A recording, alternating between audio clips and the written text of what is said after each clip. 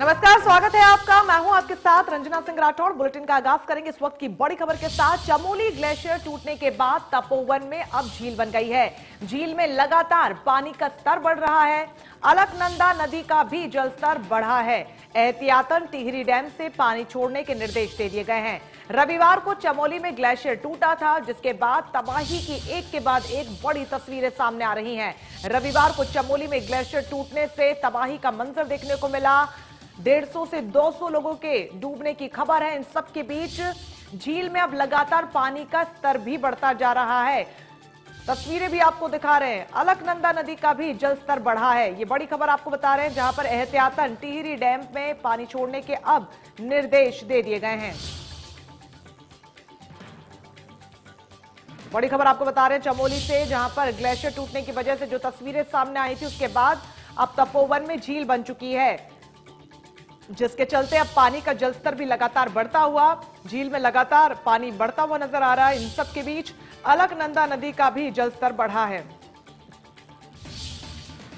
हालाँकि तपोवन में सुरंग से लोगों को निकालने का मिशन लगातार जारी है।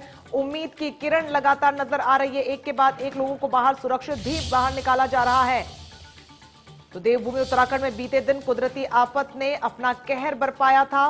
ग्लेशियर टूट जाने के कारण चमोली में बड़ा हादसा हुआ था जिसकी तस्वीरें भी इस वक्त आपको दिखा रहे हैं।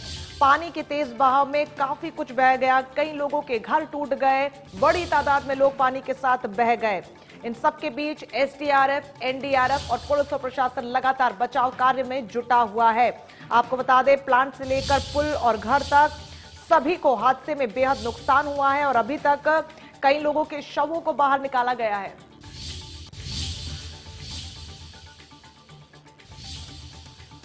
इस बीच एक और बड़ी खबर चमोली से, जहाँ पर ग्लेशियर टूटने से अब तक 10 लोगों की जान जा चुकी है। 25 लोगों को सुरक्षित, हालाँकि बाहर निकाल लिया गया है तो वहीं छह लोगों के गंभीर रूप से जख्मी होने की खबर जारी है।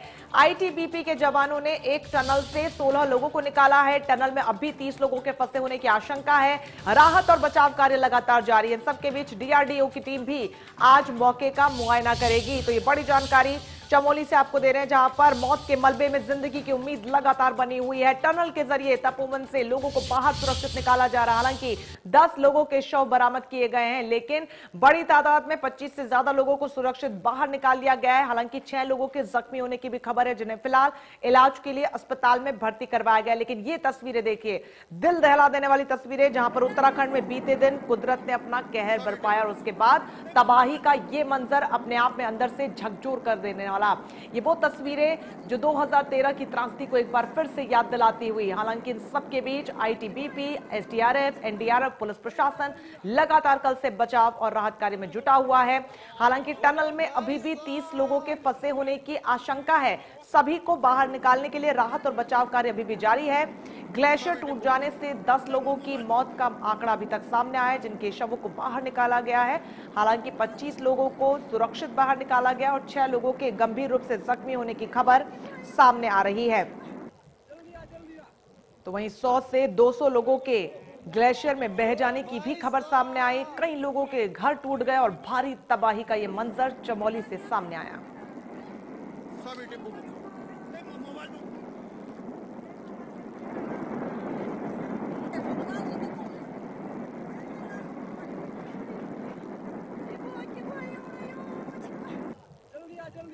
तो ग्लेशियर टूटने के बाद तपोवन में झील बन चुकी है और इन सब के बीच पानी का स्तर लगातार बढ़ता हुआ हालाँकि एहतियातन टीम लेकिन हमारी टीम्स वहाँ लगी हुई हैं सिस्टर एजेंसीज भी लगी हुई हैं शायद थोड़े देर के बाद कुछ ब्रेक थ्रू होगा okay sir thank you much